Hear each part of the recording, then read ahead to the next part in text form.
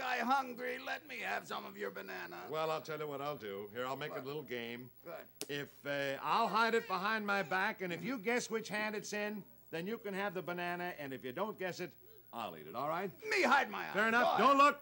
Don't, Don't look, look. Chief. Now let's see. Don't look. Not look. Uh, tell me which hand do you think I have the banana in? Oh, a little psychic here. Which one? uh, Right. The right hand. You are right, and you get the banana. What happened? What happened? Well, I can't understand it.